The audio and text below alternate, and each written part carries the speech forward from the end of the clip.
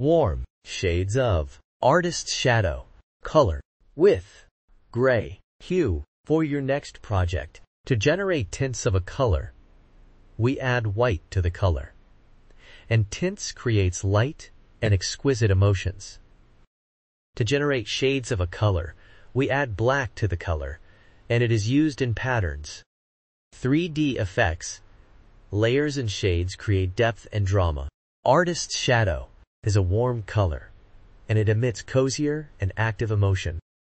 Warm colors are symbols of warmth, fire, heat, and sunshine.